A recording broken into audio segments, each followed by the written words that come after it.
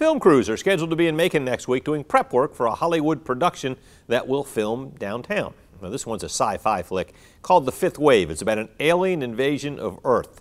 Kristen Swilley stopped in on some downtown businesses to see how they're reacting to the news. At the Vault Thanks for calling the vaults, Jeffrey.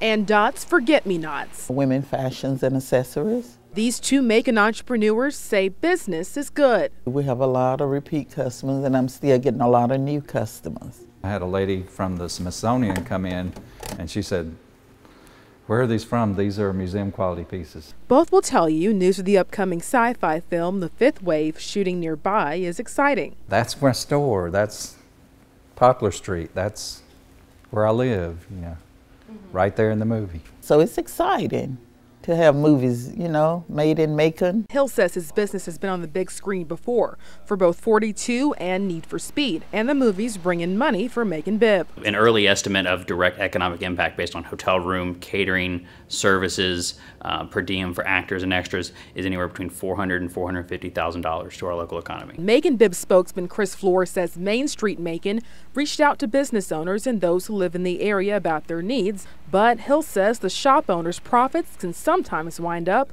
on the cutting room floor. He says while 42 was being filmed, things got tough. Around four to 5,000 in sales that we lost, and then um, probably two to three the next month because there was just still, it kind of changed the pattern of uh, people's shopping or coming downtown. He says that's due to people who don't often venture downtown still believing the business was closed, even after shooting wrapped up. But he says this time he's being compensated, and he's optimistic it's all for Macon Bibb's greater good. But we've seen, you know, Macon represented in these other movies, and we're just really excited about it, promoting Macon and uh, getting the people around here excited about downtown Macon. In Macon, Kristen Swilley, 13 WMAZ, Eyewitness News.